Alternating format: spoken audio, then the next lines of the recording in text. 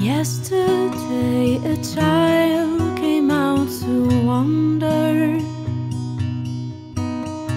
Caught a dragonfly inside the jar. Fearful when the sky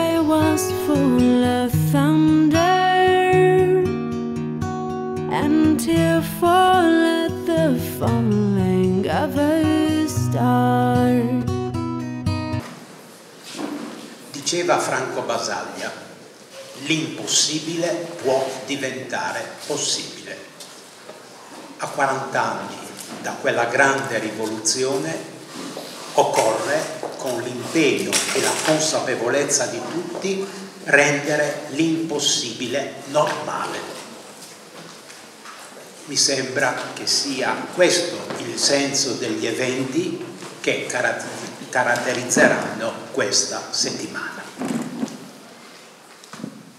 Il professor Peppe Dell'Acqua, collega e collaboratore di Basaglia, in una recente intervista ha citato un rapporto della World Psychiatric Association in cui si afferma che i grandi risultati ottenuti nel campo delle neuroscienze non hanno prodotto conseguenze significative nella cura del disagio psichico.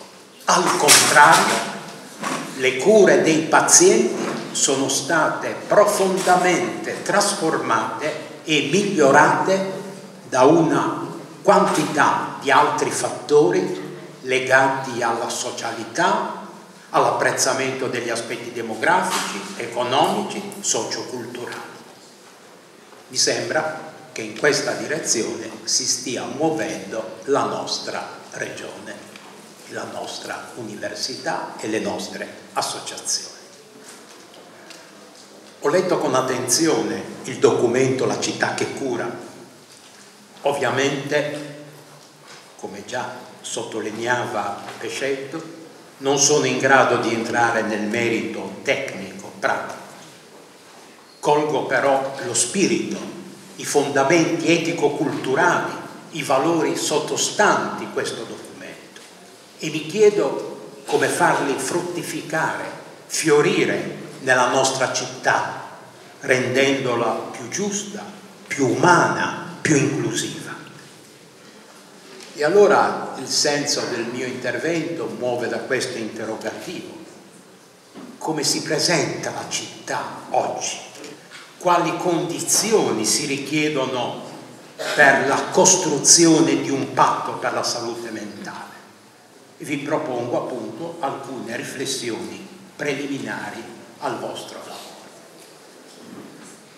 La città dovrebbe essere un progetto che nasce dalla volontà di vivere insieme, di convivere, un progetto radicato nella storia, nella cultura, aperto alla speranza. D'accordo? Ma chi fa il progetto?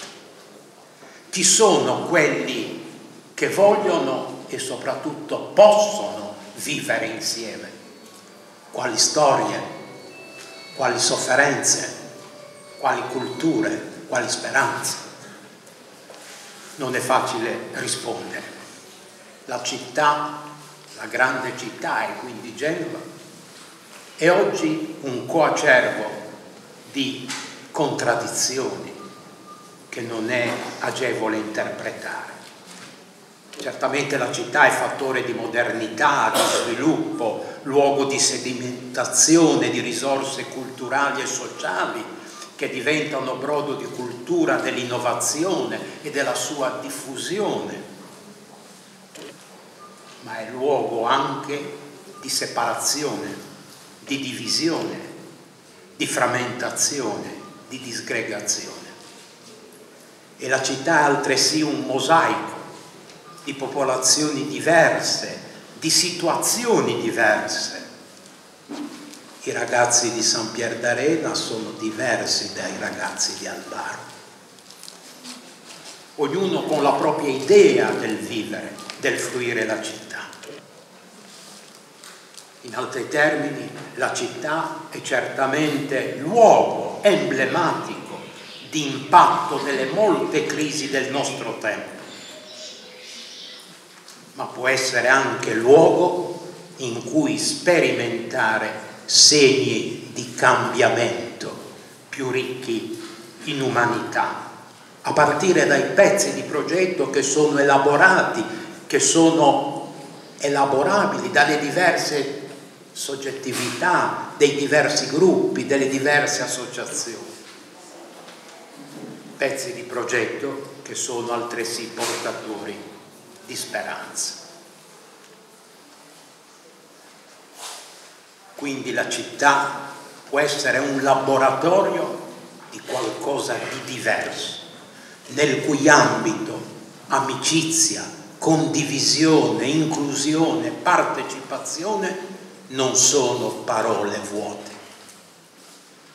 È in gioco quindi un nuovo welfare e una nuova governance.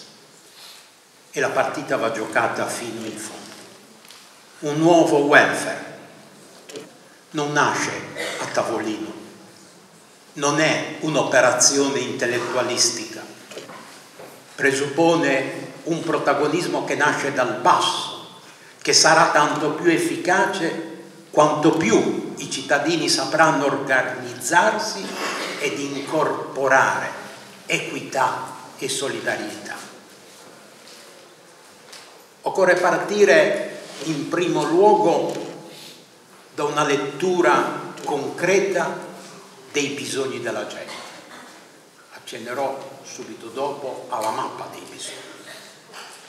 Nelle odierne società le caratteristiche del bisogno non si configurano più in termini omogenei, uniformi, categoriali, problemi dei giovani, degli anziani e così via. Sono bisogni complessi, interdipendenti, trasversali, che richiedono sistematicità di interventi formativi, di sostegni relazionali, di integrazioni di reddito, di servizi di cura e così via. Occorrono quindi degli ambiti di ricomposizione. Certo la famiglia è importante, ma da sola non basta. In secondo luogo, dopo aver configurato le caratteristiche dei bisogni si tratta di costruire dei percorsi poggianti su interventi mirati, finalizzati a promuovere processi di autonomizzazione personale, familiare, comunitaria, processi di costruzione di libertà.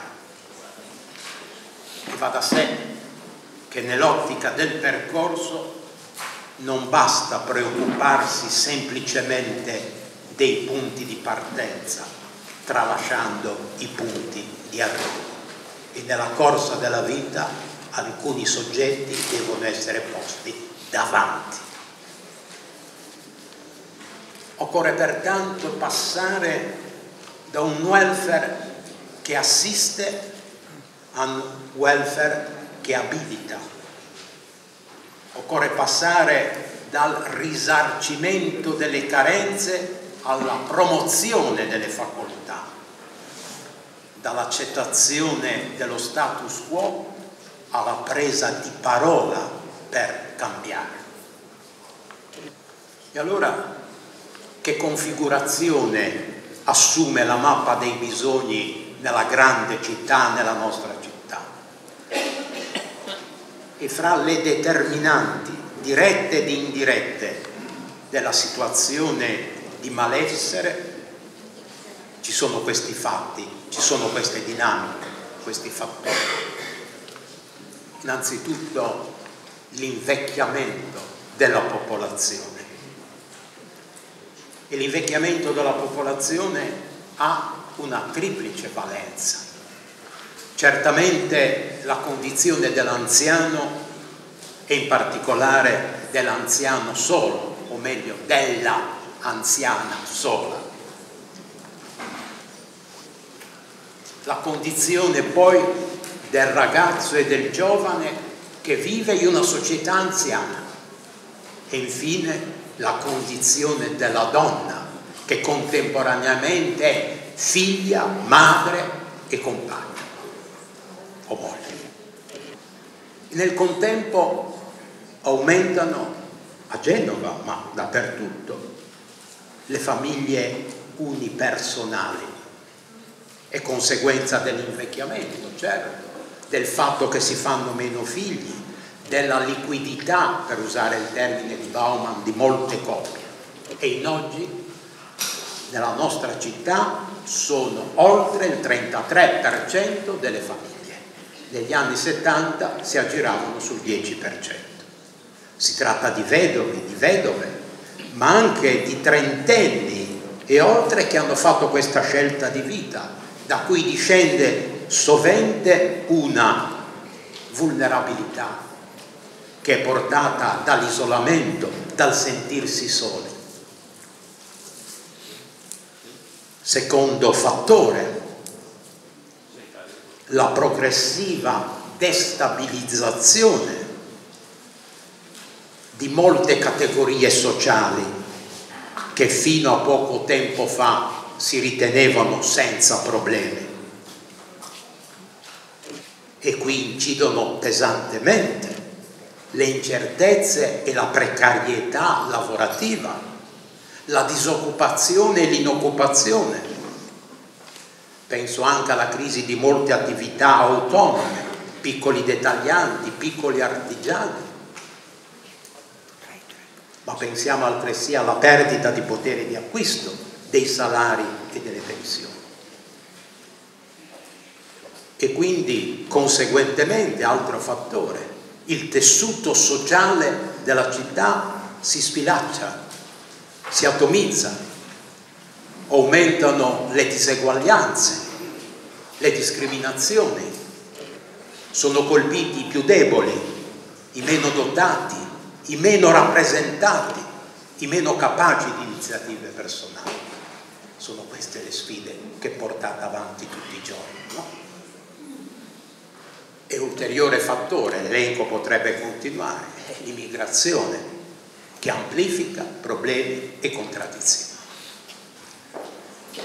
Ho parlato di determinanti dirette e indirette del malessere sociale cittadino.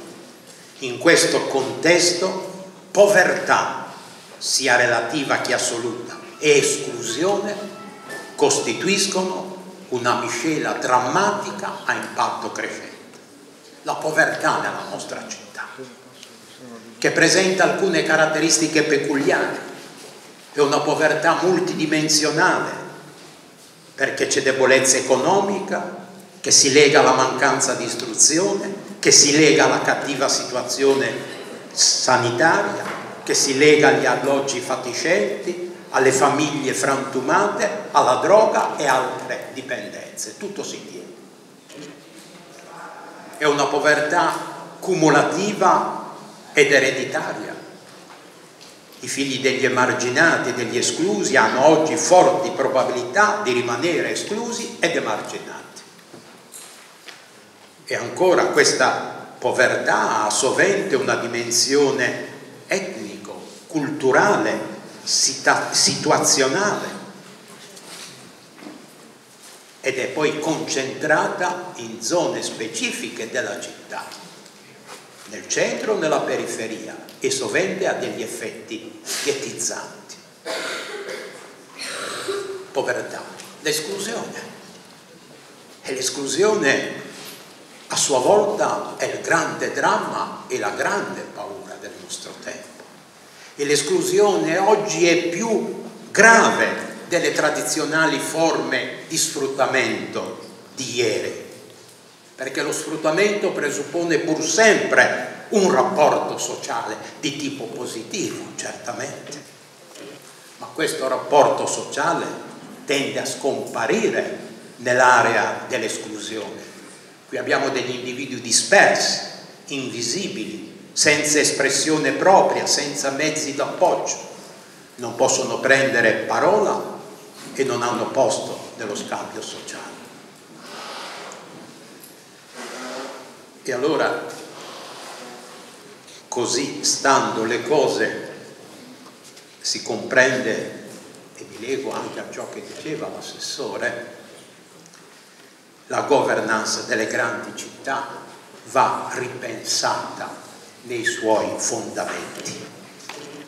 Occorre una governance che sia garante dei diritti di tutti i cittadini. Occorre mettere all'ordine del giorno il tema dei livelli essenziali delle prestazioni, dei servizi, il tema dei profili di qualità che i cittadini possono pretendere, il tema dell'equità e la garanzia dei diritti non può essere teorica, richiede un organico e continuativo processo di misurazione e di valutazione dei risultati sulla base di parametri condivisi. Ecco l'importanza dell'osservatorio cui accennava il preside Amore. Una governance aperta sa che non potrà mai farcela da sola. Siamo in un contesto di bisogni crescenti e di risorse stagnanti, se non proprio calanti. Pertanto è necessario l'attivazione dei cittadini, dei gruppi, delle associazioni, sono una grande risorsa progettuale ed una grande energia.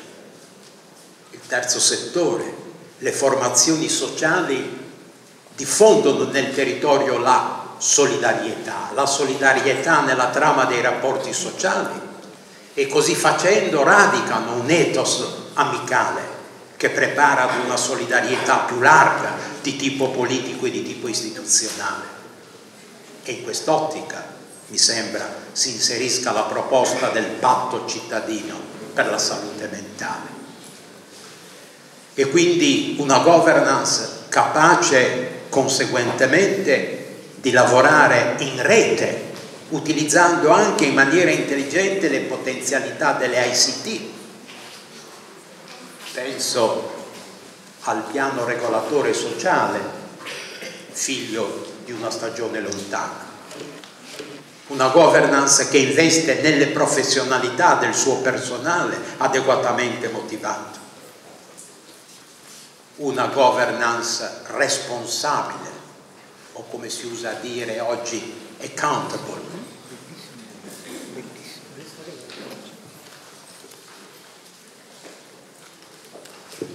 E da questo punto di vista al bilancio tradizionale del comune occorrerebbe affiancare una proposta fatta da molti anni un bilancio sociale, cioè la conoscenza dei risultati, degli output dell'azione politica amministrativa del comune deve essere integrata con la conoscenza delle conseguenze, degli outcome. Con altre parole, le spese correnti, le spese di investimento del comune, quanta felicità riescono a generare quanta sofferenza contribuiscono a ridurre con riferimento alle diverse categorie. Oggi si usa dire degli stakeholder, ma non soltanto degli stakeholder forti, che hanno la voce grossa, di tutti.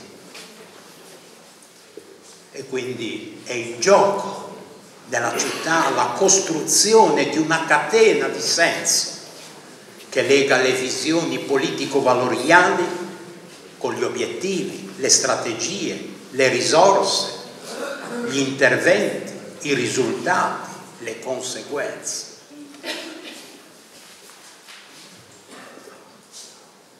Obbediente all'invito di Pescetto mi avvio alla conclusione. Non è una minaccia.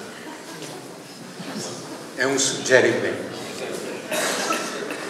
dobbiamo impegnarci a partire da qui a costruire cittadinanza, o meglio a generare cittadinanza e creare quindi le condizioni per una buona convivenza per tutti e per ciascuno. Che la cittadinanza non è soltanto uno status, ma appunto un progetto di convivenza per gli altri con gli altri. In sintesi, un rapporto costruttivo tra il singolo, la persona e la collettività. Identità, dialogo, bene comune sono gli elementi costitutivi, fondativi di questo rapporto, sono tra loro strettamente interconnessi. Si appartiene e ci si apre agli altri, si scopre la diversità e l'uguaglianza, si promuovono i diritti e si assumono i doveri, si partecipa alla vita comune di tutti. Identità è la sintesi dinamica tra il sé e l'esterno, un patrimonio che si sviluppa con la vita attraverso il confronto con gli altri. La globalizzazione non annulla l'identità, ma impone di viverla in una dimensione più ampia, capace di misurarsi con la pluralità delle appartenenze, superando la paura dell'altro. Identità e dialogo si alimentano reciprocamente i diversi sistemi culturali, i sistemi esistenziali non sono necessariamente delle gabbie, ma occasioni per scambiare esperienze di vita, costruire assieme una nuova sintesi di significati. Le identità possono dunque convivere, mettersi in discussione, imparare reciprocamente L'esperienza dell'altro, giovane, anziano, di colore, disabile, fragile, può aiutare a scoprire e ad arricchire la mia identità. Sono i mondi vitali, intesi come luogo della creatività sociale nella reciprocità, che possono portare dentro le sfere istituzionali il senso dell'umano, le domande vere della gente la volontà di partecipazione e di cambiamento. È in questo senso che si può parlare di città laboratorio, luogo in cui leggere i segni di cambiamento più ricchi in umanità. Si tratta di ricucire, ricomporre, integrare, non rinchiudersi nel privato ma aprirsi al sociale. Coniugare libertà e solidarietà, riorganizzare i tempi e gli spazi centrandoli sulla persona. E poi sperimentare forme più alte di convivenza sociale ed economica, a partire dai pezzi di progetto elaborati dalle diverse soggettività e aggregazioni. E il principio di sussidiarietà diventa pertanto fondamentale, si esprime attraverso convenzioni, accordi di programma e così via. E infine, vivere e praticare l'interculturalità in un'ottica di dialogo non è facile. La cultura della città è anche la cultura delle differenze, nel senso che le diverse società i diversi mondi, le diverse esperienze presenti nella vita possono accogliersi reciprocamente. L'inseg- Grazie, lo prendo come acconto, come acconto. L'insegnamento di Papa Francesco ci è di guida in questo vostro e nostro percorso. In tutti questi anni Francesco ci ha invitato a non chiudere gli occhi, a saper vedere, saper vedere le persone in difficoltà, in particolare le difficoltà nascoste. Quanti genovesi assumono quotidianamente psicofarmaci? Quanti dipendono dal gioco? Quanti vivono di esperienze borderline? Quanti e quali patologie attraversano silenziosamente la città. Quanta solitudine nasconde l'esplosione dei social network? Cosa ci sta dietro il disattamente giovanile? Potremmo continuare.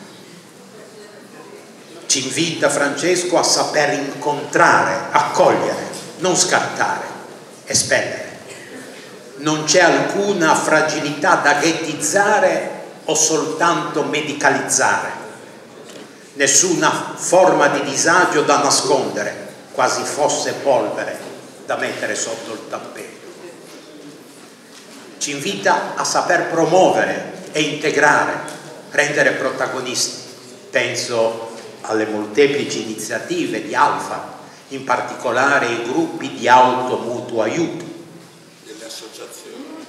Delle associazioni. Non solo di auto. No, delle associazioni, certo a saper ascoltare ed imparare di chi ci sta accanto con i suoi problemi, dai quali discende per noi nuova saggezza di vita. Concludo con una citazione. È appena uscito a Milano il primo giornale quadrimestrale pensato e scritto da pazienti in cura per disagi psichici si chiama Fuori di Milano, sottotitolo Il magazine dell'impazienza. Nell'editoriale di presentazione del primo numero c'è scritto Fuori di Milano è un giornale da matti perché ha il coraggio di raccontare il mondo, o meglio di provarci, con uno sguardo diverso, il nostro. Non ci vergogniamo della nostra condizione, della nostra storia. Semmai siamo un poco preoccupati per la vostra, di voi lettori normali. E d'altra parte, vedendo la situazione politica di oggi, mi sembra che non abbiamo torto. Behind from where we came and go round and round and round. In the circle